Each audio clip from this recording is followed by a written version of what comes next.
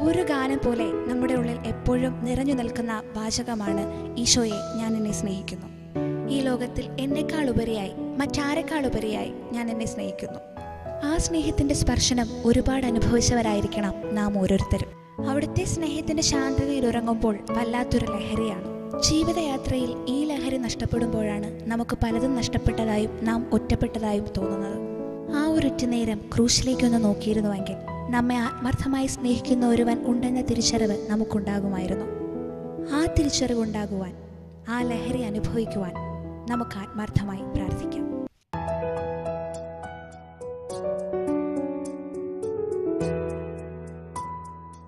Isho